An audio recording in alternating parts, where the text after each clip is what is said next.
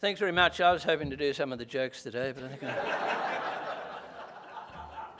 Look, it is true, I, I, did turn up at the uh, Kevin Rudd Summit. What was it called again? I forget. 2020 Summit, yeah. Um, I didn't want to go, and Anne and I had planned to be in the US, but I was asked because John Hartigan, who was then head of News Corp, rang me up and said, Gerard, he said, I'm the head of this constitutional group. There are 100, pe- 100 people on it, and 98 are lefties. He, he had on Philip Adams and David Marr and all this group. So he begged me to come along, so I did. Um, it was quite an experience. and I didn't meet Cate Blanchett, although I did avoid the terrible situation where people um, stood up as Kevin Rudd sat on the floor. I'd never seen something quite like it, and they all bent over to listen to the great words of wisdom. Um, thanks for the invitation, and I don't want to go on too long today and promise to not go beyond an hour and a half. Um, so, congratulations to the Samuel Griffith Society on the occasion of attaining 30 years of age. It's difficult enough to set up a not for profit, privately funded voluntary organisation, but it's enormous achievement to last for three decades with more to come. When I addressed the, the um, Society in Brisbane in 2018, I mentioned that I first met Ray Evans at Melbourne University um, in a previous century, but I'm not saying which one. And um, and we knew each other for half a century. We agreed on many issues, we disagreed on some issues, but I always admired, admired Ray's enormous intellectual courage in setting up groups like the H.R. Nicholls Society and the Samuel Griffith Society and others. Now, when I spoke to the Society in 2018, I mainly spoke about the media and religion. And I did make reference to the Royal Commission into Institutional Responses to Child Sexual Assault. Um, and I criticised its focus on the Catholic Church and the Anglican Church. Uh, and I noted that it had no interest in such institutions as the media or government schools. Um, and I remember John and Nancy Stone were in the front row, and at the end, John asked a question, and he was nice about my speech, which I appreciated, but he then raised the issue of George Pell, and I said, Well, look, legal proceedings are on the way, there's nothing I can talk about, and I didn't.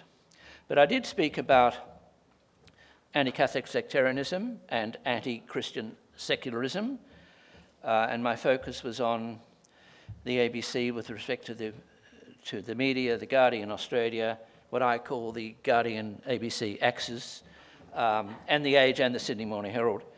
Uh, which brings me back to the topic of today's talk, the Pell case, the law and the media, which I've covered in considerable de- depth in the book. Now, this is one of, you'll be surprised at this, this is the third of a trio. How about that? A trio of three. And um, Keith Windschuttle's The Persecution of George Pell in Quadrant Books, Frank Brennan, Brennan's Observation on the Pell, Observations on the Pell Proceedings, published by Connor Court, and my book. Now, we all get on pretty well, but what we have completely in common is we're all banned by the ABC. and, and I haven't had my book discussed on any ABC program, nor has Frank Brennan, and Keith managed one on a, on a, on a low rated program. And when they've got it up online, they've got two articles attacking him.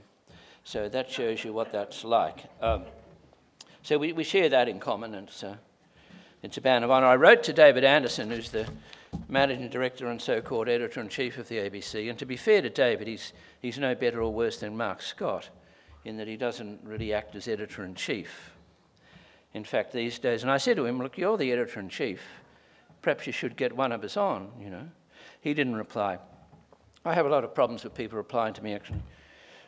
It could be because I always publish their correspondence in Media Watchdog, but I'm not sure.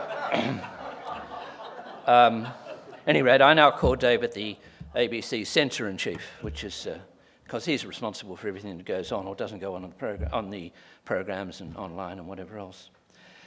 Now, this, before I start, I just want to endorse the statement of Cardinal George Pell that was issued on the 7th of April 2020, just after his convictions were quashed by a seven zip decision in the High Court of Australia, which is just over two years ago. And he said, in part, I do not want my acquittal to add to the hurt and bitterness so many feel.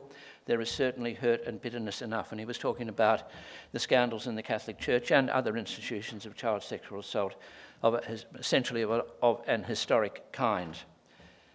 But the point was that George Pell did not, as he said, commit the awful crimes of which he had been convicted. And in the light of that, my comments tonight are directed at the Pell case alone. Now, without question, George Pell versus the Queen is one of the most important cases in Australian criminal law history, and Justice Mark Weinberg's devastating dissent in the Victorian Court of Appeal, I think, is perhaps the most important dissent in Australian criminal law history, particularly since the majority compri- comprised Anne Ferguson, the Chief Justice of Victoria, and Chris Maxwell, the President of the Victorian Court of Appeal. So the question is how did it come to this? Moreover, what does the Pell case tell us about Victoria Police, the Victorian Office of Public Prosecutions, the Victorian Director of Public Prosecutions, Victoria's, and Victoria's two most senior judges? And what does it say about the media, with which, which with few exceptions, got the Pell case hopelessly wrong? And the answer lies in the performance, I think, of the Victorian legal organisations, and the pile-on mentality of so many Australian journalists, executive producers, and media managers. So I look first at the, the legal system and George Pell. Victoria Police. In March 2013, Victoria Police set up what was what is called Operation was called Operation Tethering to investigate whether any crimes committed by Pell had gone unreported. In other words, Victoria Police was looking for a crime before a complaint had been made. Now, on April the 9th, 2020, two days after the High Court decision, unanimous decision quashing Pell's conviction, Graham Ashton, the chief executive, uh, the chief commissioner of Victoria Police, was interviewed by Neil Mitchell on Melbourne Radio 3AW. Asked why Victoria Police commenced an investigation on George Pell in the first place, Ashton replied, Well, we received a complaint from victims. This statement is simply totally false. The only complaint which led to Pell going to trial was made in June 2015, over two years after Operation Tethering was established. And of course, Victoria Police laid 26 charges, only five of which got to court, and, and the, all five of which were crushed by the High Court. In, on 27 July 2016, the ABC 730 program devoted the entire 30 minutes to Louise Milligan's report, making allegation about Pell's behaviour at the swimming, at swimming pools in, in, in Ballarat in the 70s and St Patrick's Cathedral in the mid 1990s. Interviewed by Mitchell the morning after Milligan's report on 7:30, Ashton referred to the complainants against Pell as victims. This statement is completely unprofessional, totally prejudicial, and senior judges in England and elsewhere is warned that these comments shouldn't be made. A person who makes an allegation is a complainant. Once that allegation goes through the legal system, that person becomes a victim. To say that a person is a victim before the legal system has gone through is totally unprofessional. Um, now, Cardinal Pell agreed to be interviewed by Victoria Police on the 19th of October 2016 in Rome.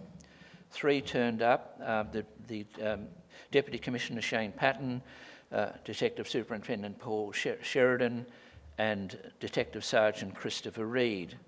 Now, a study of the interview transcript reveals that both Reed and Sheridan were totally out of their depth, being either ignorant of aspects of the case, uh, including locations in Ballarat, which were, which were accessible by reference to a, to a, to a directory, um, and completely ignorant of practices of the Catholic Church, especially concerning the conduct of a solemn Mass, immediately after which Pell was alleged to have committed crimes.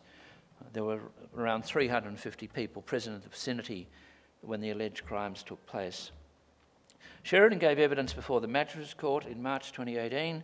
Early on, in response to a question from um, Robert Richter QC, Sheridan conceded that Operation Tethering could, could, he didn't say is, but he conceded it could be termed a Get Pell campaign, which was an extraordinary statement from a very senior Victorian police in a magistrate's court speaking under oath. In the event, Victoria Police laid only five charges uh, that got to a jury. Four related to Pell's alleged sexual assault of two boys, A and B, on one of two possible dates in December 1996. The prosecution didn't have a date. The fifth charge related to Pell's alleged assault on A, the first boy, in February 1997. Now, the second, uh, the second case, February 1997, Victoria Police admitted um, in the court under oath that the second incident was never investigated.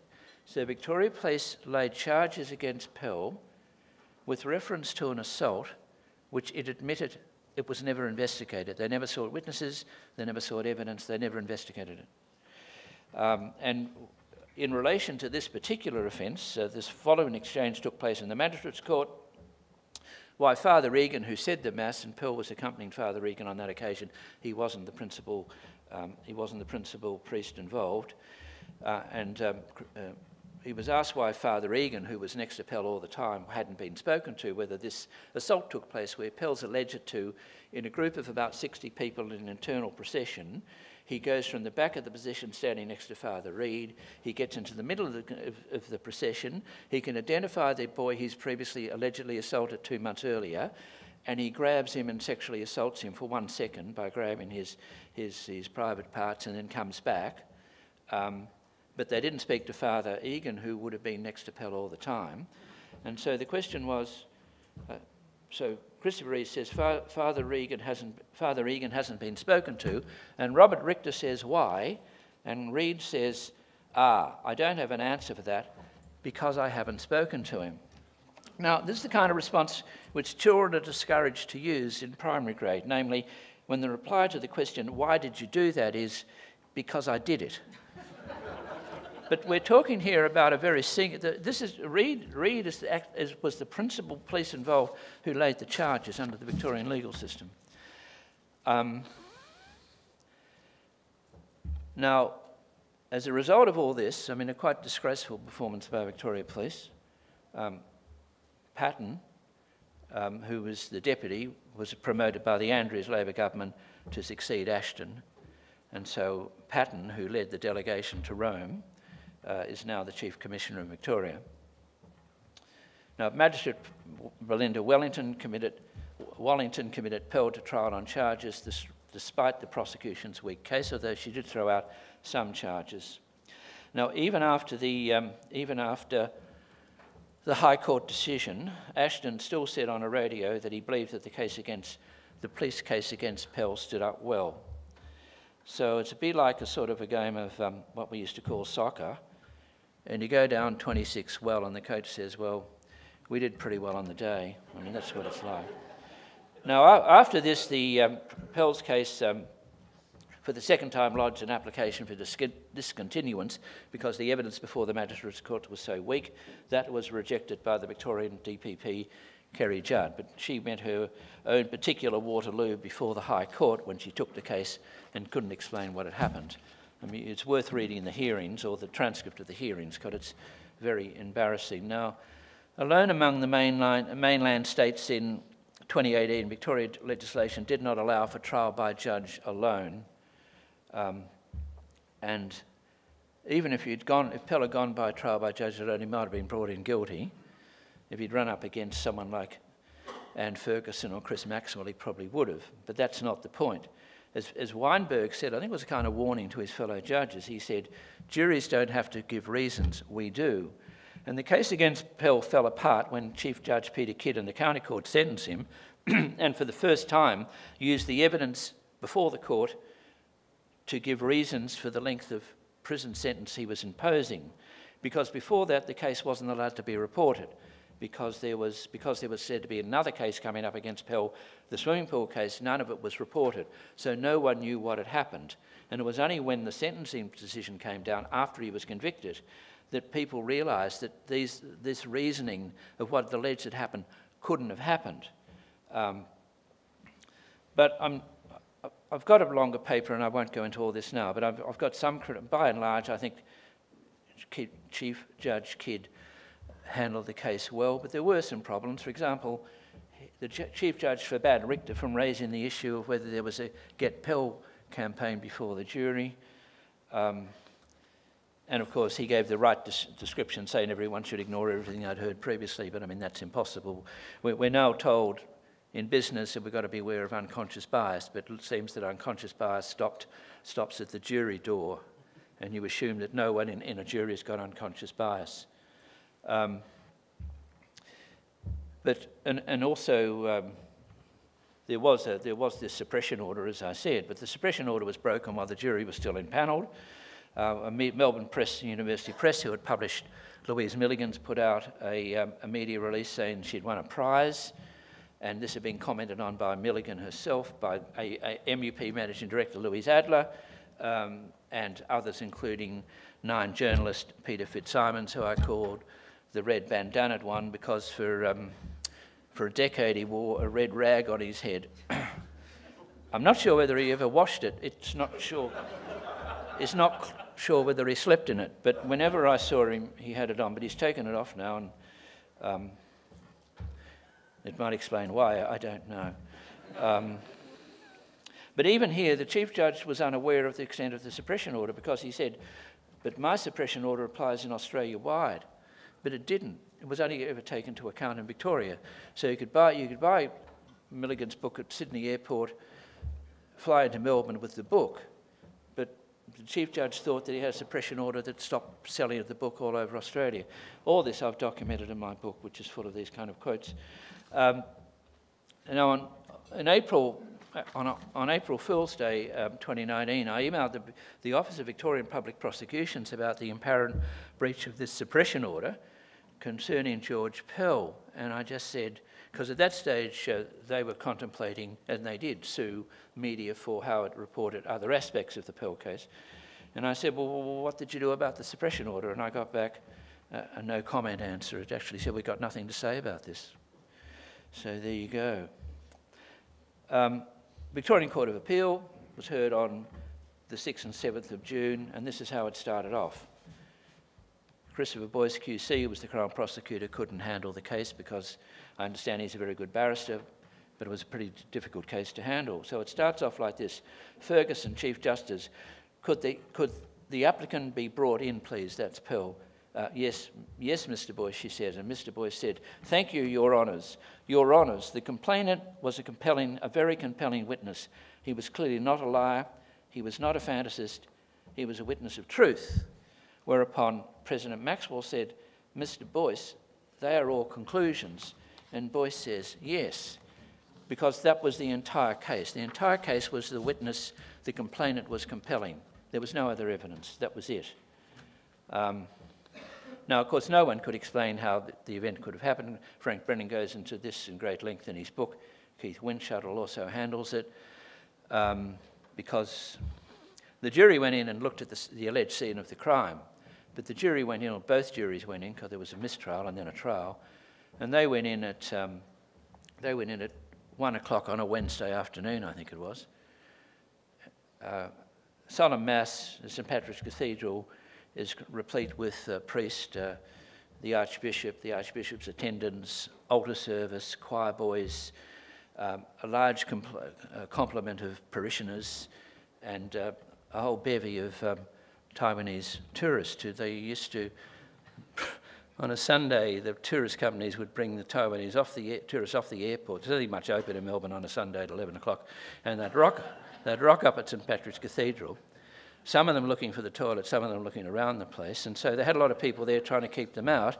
Um, I mean, the place was it would be a bit like sort of a crime takes place at the Sydney Cricket Ground on the um, on the first day of the uh, of the January Test match, and you you investigate it by going out on a, on a, on a Tuesday afternoon in the middle of July. I mean, there's just no comparison. At any rate. Um,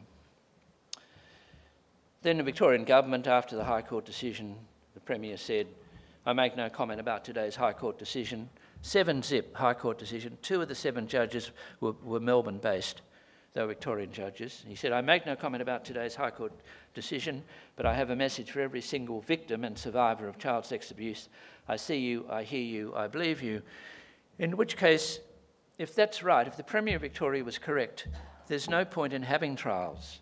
If everyone is accurate, if everyone's telling the truth, if no one's a fantasist, if everyone must be believed, then you should proceed from a charge by Victoria Police to a sentencing by the judge or a magistrate. I mean, that's the logic of that.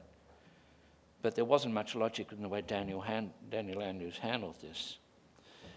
Um, and Kevin Foley, a senior member of the Andrews government, launched Milligan's book in May 2017 when it was known that Pell was going to be charged.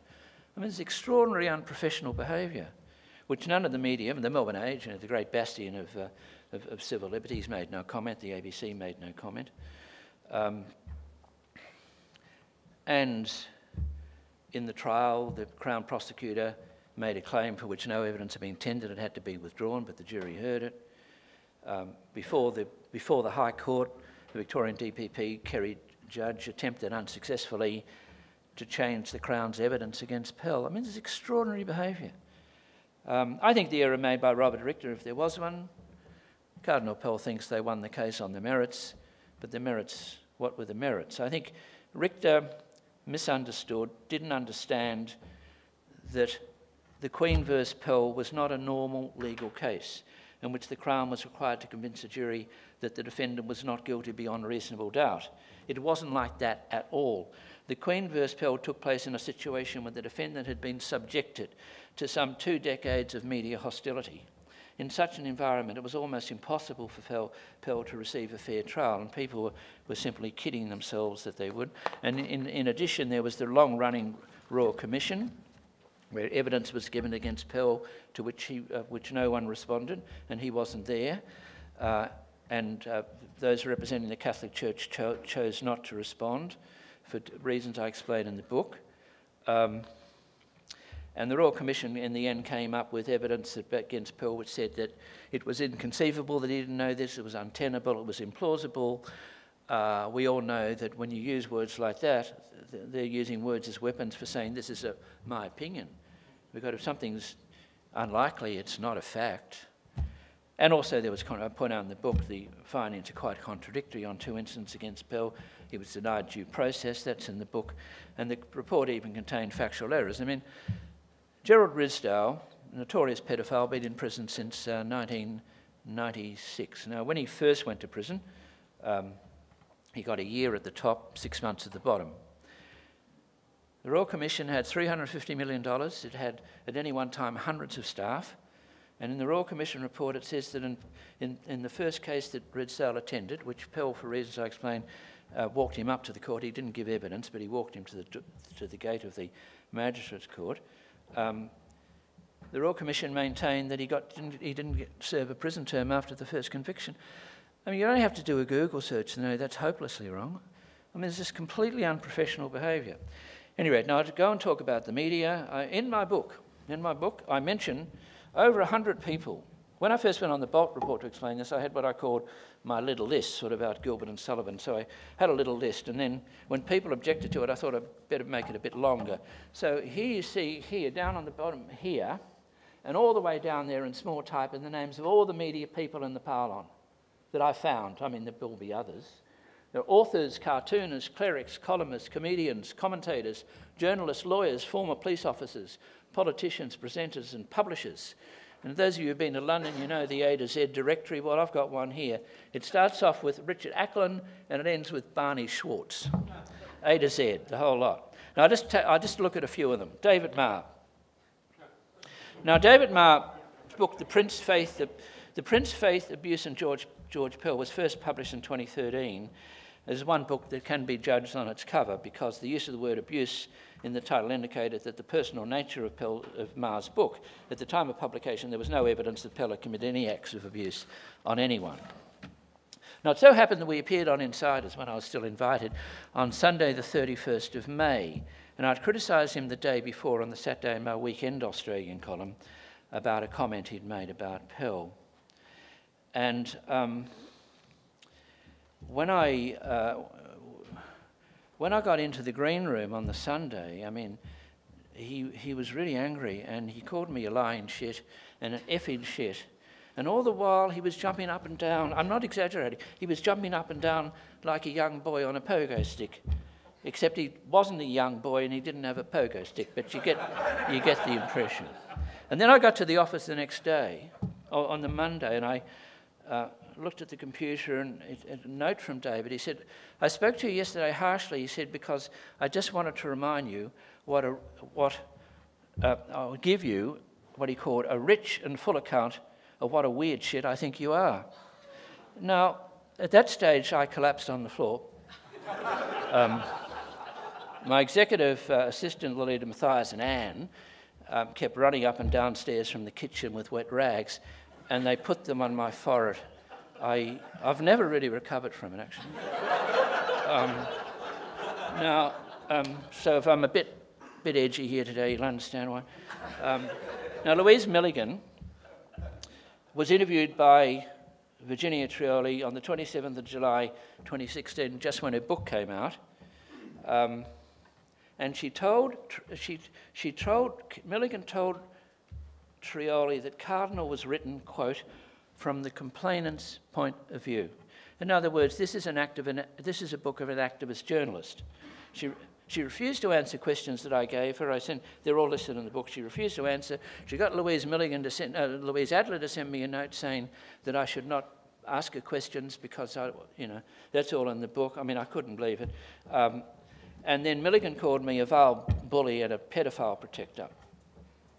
Now, I thought, you know, this was a bit odd for one of the ABC's most senior journalists, so I wrote to, emailed David Anderson pointing this out. And I said to uh, David Anderson that I thought this was uh, a bit over the top, even for the ABC. And uh, so it's somewhere here, I don't know. it's somewhere. At any rate, um, David Anderson said, I'll get back to you. Uh, every day, because he, he, may, he may use mail, but every day at about 10 o'clock I go downstairs and see if the mail's arrived. I, th- I think I'll get an answer. Uh, but I'm not sure when. Now, in time, Milligan won numerous awards for Cardinal the Walkley Book Award, the Golden Quill Award, the Owen Dixon Chambers, I have to say in Sydney, Owen Dixon Chambers, uh, the Australian Press Council Award. Uh, now, this, this, she got awards, literary prizes, legal prizes, the Australian Press Council Prize. Um, and this is an example which I asked her about, which she never replied to. This is the evidence she used against Pell in her book. These are resources, among others. One senior member of a religious order, another Royal Commission source, one of the most senior priests of the Curia in the Melbourne Archdiocese at the time, one church official, office, officials in the church, a friend who is a, who is a mother in the neighbourhood, someone who works around the Royal Commission, the father in law of an ABC journalist, people who knew Pell in his Ballarat days, and the general many, many. Now, pray tell me, you're a lot of lawyers here, you, you would know this. Could there be a source more authoritative, more authoritative than the anonymous father of an anonymous ABC journalist? Um, I don't think so. I doubt that very much. Now, it was Lucy Morris-Marr um, who said when, when Andrew Bolt said that the journalists were conducting a witch hunt against uh, Pell, she said early on, when it comes to child abuse, I'm happy to be leading the witch hunt that was another person who was supposed to be a dispassionate journalist reporting for the New Daily and CNN, but she was another activist journalist. She accused me of bullying, uh, implied that I brought, and implied that I brought about a, a, a, situation where she had to call an ambulance. I've never been in that situation before, but I, would criticised her column and she felt the need to call an ambulance. So. Um, It's possible she had lost the article and thought that the ambulance driver might have a copy of the column. I don't know. she, made, she made accusations against Pell, um, which were totally fresh in, in the book Fallen that came out after the Victorian Court of Appeal majority decision, but before the High Court. And so, in other words, she got it hopelessly wrong. So, but in, in uh, November 2020, Lenore Taylor, editor of the Guardian in Australia, which is part of the Guardian ABC Axis, as you know, announced that Fallen won the 2020 Walkley Book Award, despite the fact that the Pell's convictions had been quashed by a unanimous verdict of the High Court. Um, as Chris Mitchell wrote in The Australian, one of his great media column in The Australian, he said it was a bit like um, a half-time match report without a full-time score. and he, he, was right. Uh, and announcing the decision, um, uh, Lenore Taylor didn't mention the High Court decision, which is pretty convenient. And then there was Melissa Davey, um, who, um, who said in discussion with David Marr, because all this group only ever spoke to one another. None of the group I'm mentioning to ever confronted anyone who was critical of their work. They only ever talked to everyone else at the ABC forums, the literary festivals. And so, in a discussion with David Marr after Melissa Davey's book came out, um, she said it was great that a, that a card, cardinal, ultimately a cardinal sat in prison for almost a year, in spite of the fact he was innocent. It didn't seem to affect her. This was before Gleebooks.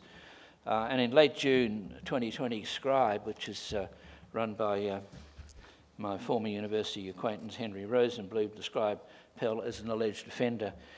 this was three months after he'd been acquitted by the anonymous verdict of the High Court. And then there's Sarah Ferguson, whose program Goliath is based on the evidence of a man named Bernie, who wouldn't give evidence before the magistrate's court, who withdrew his evidence, but she thinks he's compelling, in spite of the fact that the High Court has warned, both in civil cases and in criminal cases, that the concept of compelling doesn't work. Because someone might be compellingly telling the truth, or compellingly lying, or compelling, compellingly infused, confused. And so, um, so we go back to the problem where it all started that a complainant is, is only as compelling as the evidence that he or she brings forward. So, in conclusion, as Frank Brennan said to me in a note he dropped me the other day, in spite of the whole disaster that's occurred in the Victorian legal system over this case and in the media, and not only in the media, but particularly in the Melbourne media, because Milligan's based in Melbourne, The Age is based in Melbourne, um, no one wants to talk about it.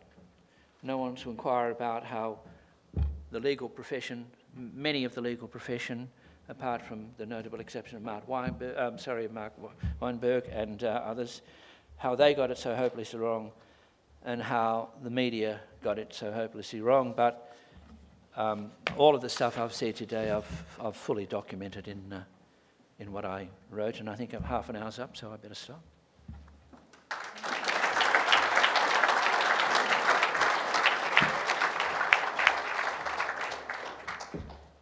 Thank you very much, uh, Gerard. As I understand it, um, uh, attendees at this conference have been asking for somebody to speak on this topic for a number of years now, uh, so I'm sure there'll be some questions from the audience. Uh, do we? Oh, there's the microphone. Yep, the back. Thank you very much, Gerard. Sophie York. Look, um, where there's been such a system failure in the past, there is precedent for apologies, ex gratia payments, um, inquiries into how to improve the system in future and what do you envisage will take place? What was the final thing you said? Inquiries into system improvement, ex gratia payments, apologies, etc.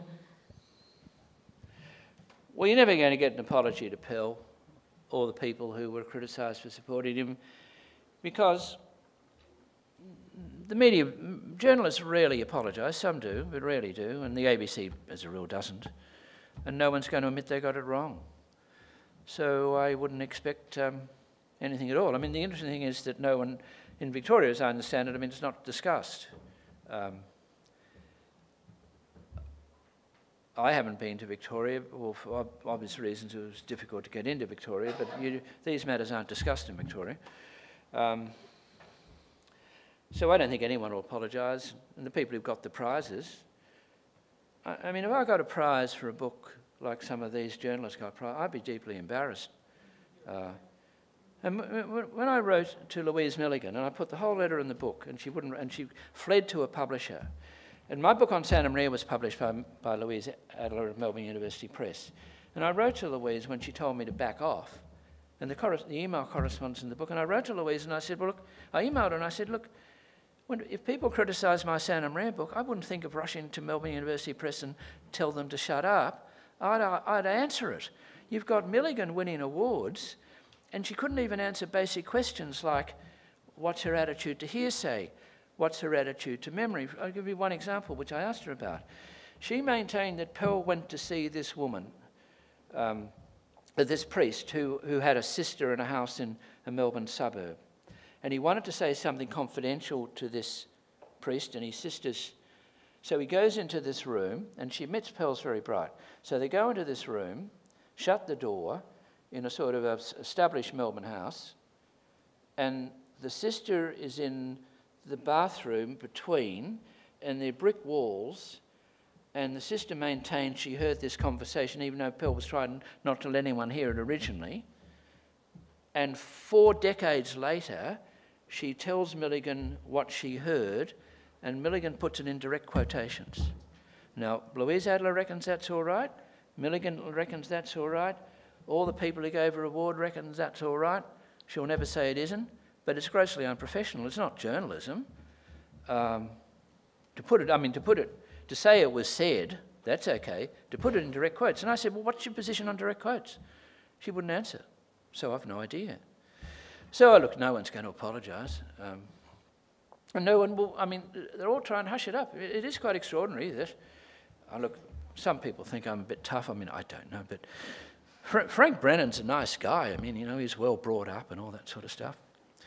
Uh, he's a bit of a liberal. He's not. He's a critic of Pell on theological grounds. Frank couldn't get interviewed. So I mean, maybe they think I'm a street fighter, but Frank, Frank's not. So look, nothing will happen. So there you go. But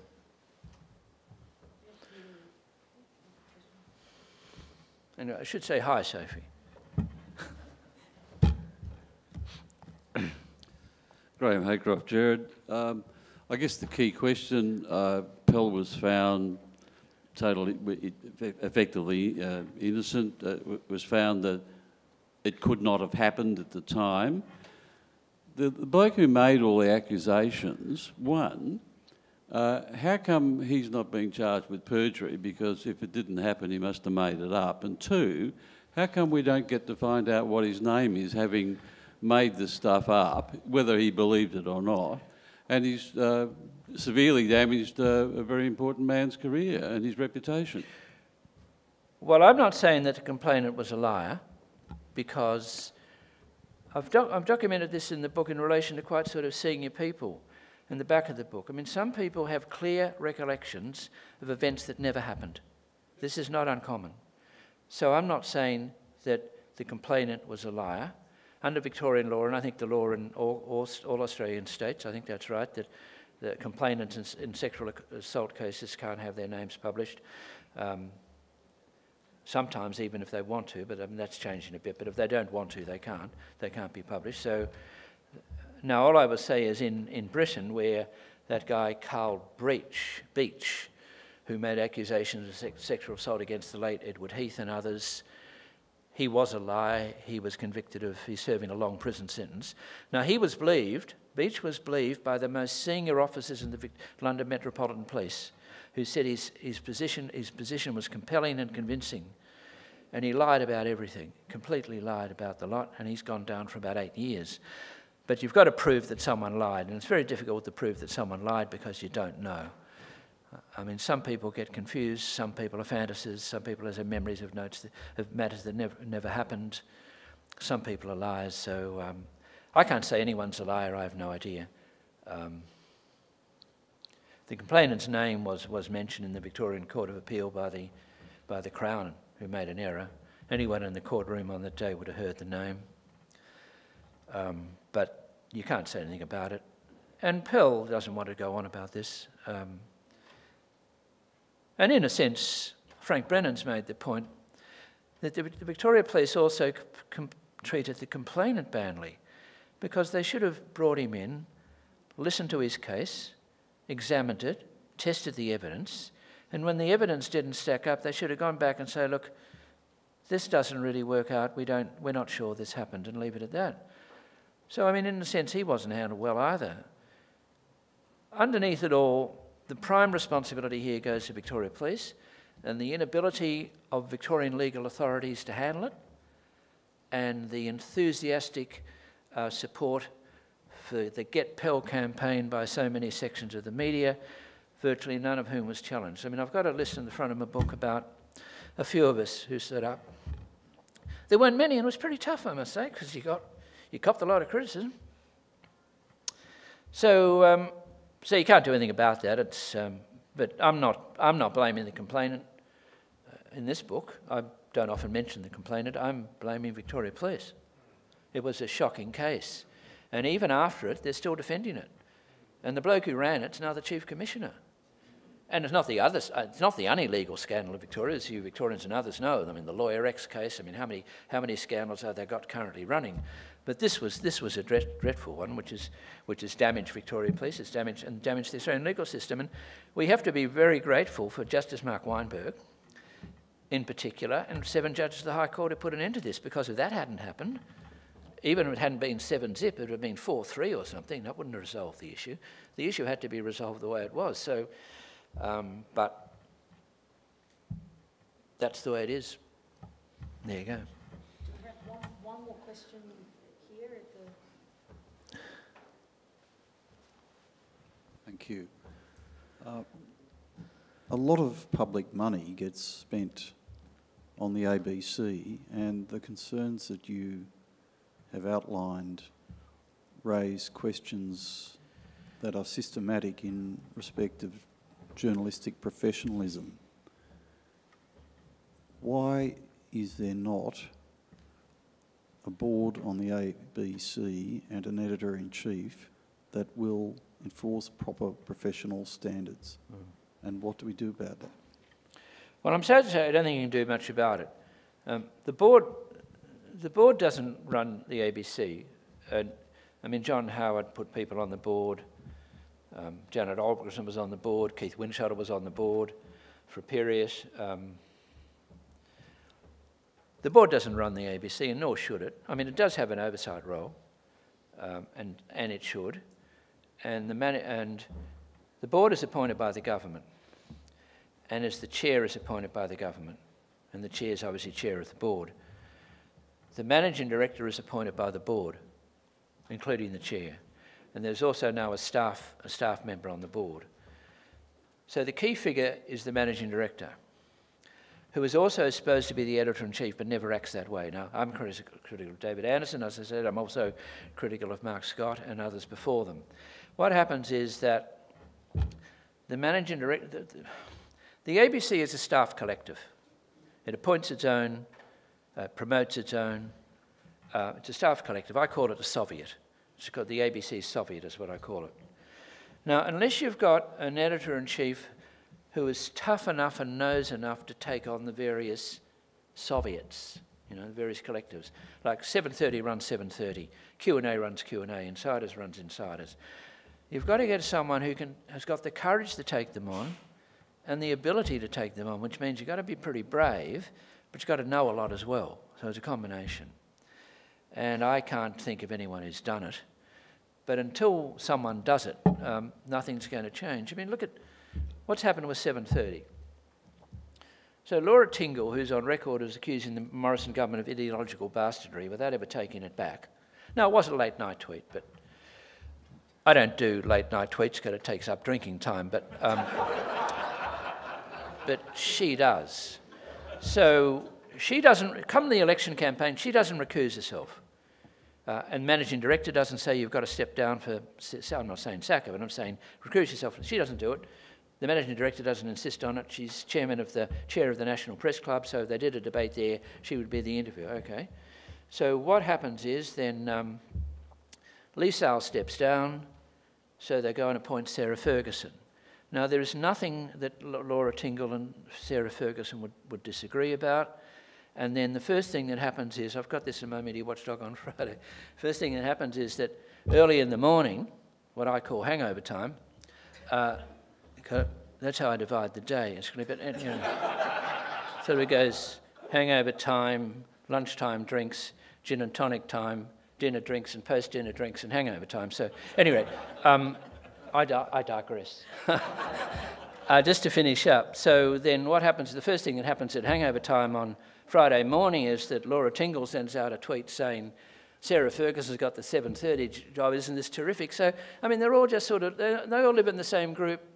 And I used to notice when I used to go to Insiders when I was allowed on, but uh, they said I upset some of my fellow columnists. I said, I think I disagree with them. But um, I used to note that, that they all sort of they all agree with one another on all these issues, and so is this culture, and who could smash up the culture? Well, it would be a pretty brave man. It's not going to be David Anderson. So his term go, eh, expires in um, in about two years, but his appointment's appointed not by the government but by the board. So look, it's a very difficult situation.